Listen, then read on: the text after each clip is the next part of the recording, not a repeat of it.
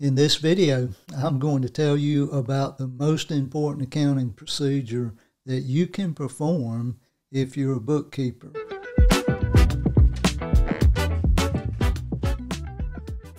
So, what is the most important procedure? Well, it's to reconcile all of the balance sheet accounts before you close the books. Now, don't rush off. You may be thinking, I already know this, uh, but stay with me if you're a bookkeeper, we're going to look at uh, the different parts of this, reconciling bank accounts, inventory, PP&E, payables, receivables, etc. And by the time we get done, I think you'll have a better feel for what needs to occur. Now, the first thing I want to talk about is what I call mystery accounts. Uh, no, it's not Halloween it's just a normal day in the office and you're doing bookkeeping. And sometimes when a bookkeeper's not sure of where to post something, they'll stick it, and I'm using those words intentionally, they'll stick it in a mystery account. So, what is a mystery account?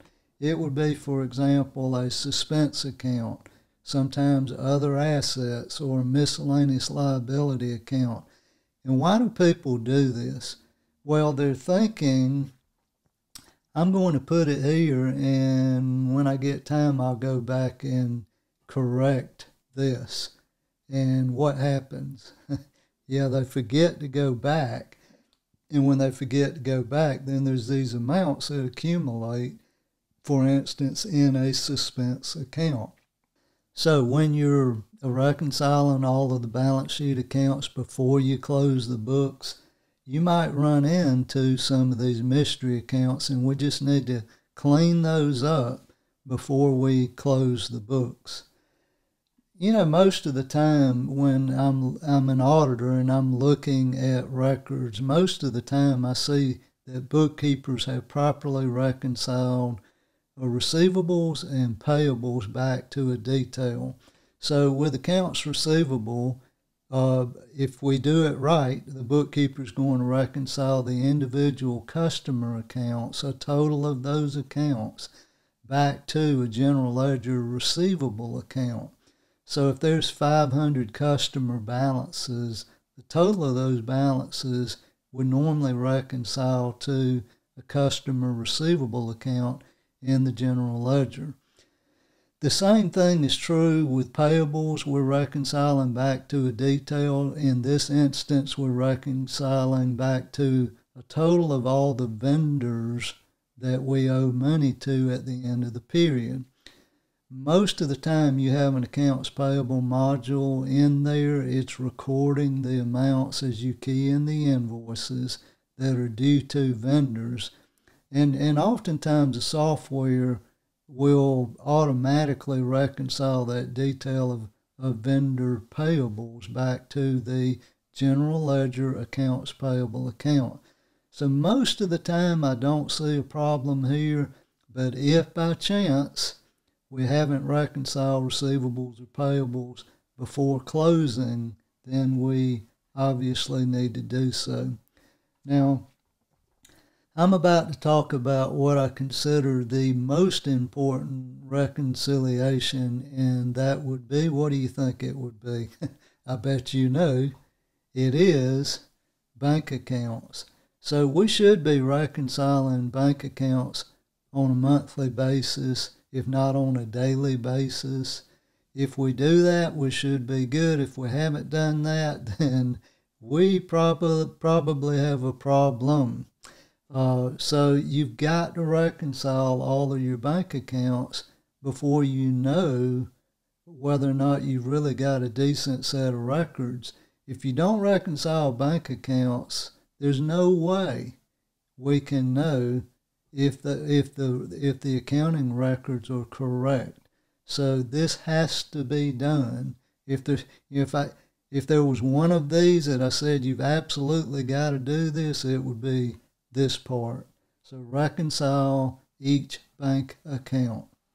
Next up is investments and, and debt accounts. So for investments, we normally receive investment statements from the broker. we're keying in uh, journal entries to recognize those monthly transactions. And then we're reconciling that investment statement back to the general ledger investment account or accounts. So you may have multiple brokers, you may have multiple types of investments, but reconcile the investment statements back to those general ledger investment accounts in relation to debt, you just just look at your loan amortizations and tie those back to the debt accounts in the general ledger. One thing I will note here, if you've got uh, leases, you want to make sure that all of your leases subject to ASC 842 are properly recorded. Uh, so just think about do I have lease agree- agreements that would require me to record a lease liability, another form of debt. Okay, next up is uh, plant property and equipment. We often call this PP&E, and we're reconciling those general ledger accounts such as equipment, vehicles, land, etc. We're reconciling those general ledger accounts to our depreciation schedule. So most entities have a depreciation software and it will generate a schedule by category such as land or equipment. And then we're simply taking that depreciation schedule and reconciling back to the PP&E general ledger accounts. Uh, take a look also at depreciation expense and make sure that the depreciation schedule amounts are tying back to uh, the depreciation expense accounts. In inventory, if you have inventory, make sure you do your counts at the end of the period. Uh, key in those counts, say, in an Excel spreadsheet. Put the pricing in that spreadsheet for each inventory item, and then come up with a total for each inventory item and then you'll have a grand total of all the inventory amounts that you've computed. That should reconcile back to your general ledger accounts. Uh, you may have more than one inventory account, so make sure those spreadsheets tie back into the general ledger accounts.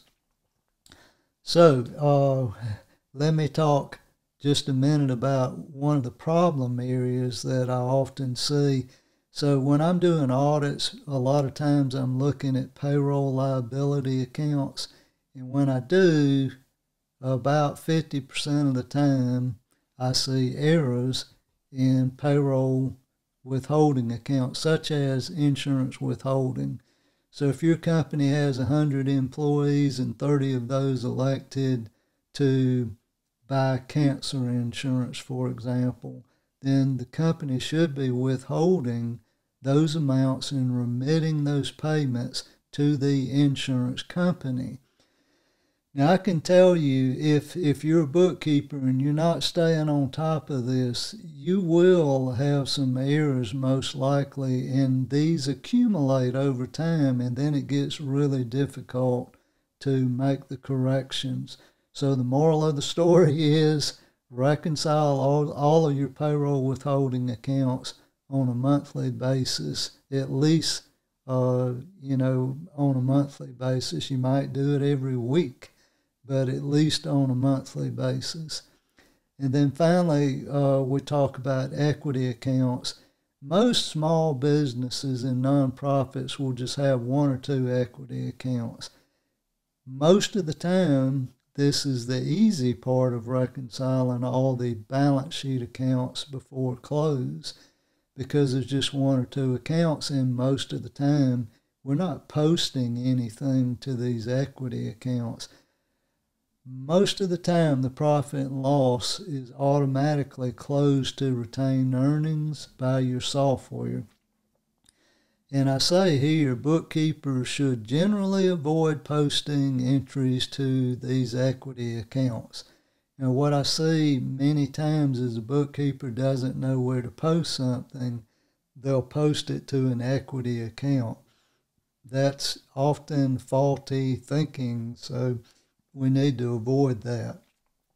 You will occasionally have prior period errors where you do post a journal entry to an equity account.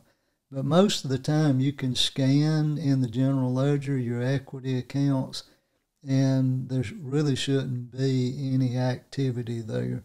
Now, there's exceptions to that. Some of you may have uh, 15 different equity accounts, and it's highly complex. I'm talking about the average small business and nonprofit. One other tip once you reconcile all of the uh, balance sheet accounts, then I want to I want you to think about looking at your income statement accounts. Those include your revenues and expenses.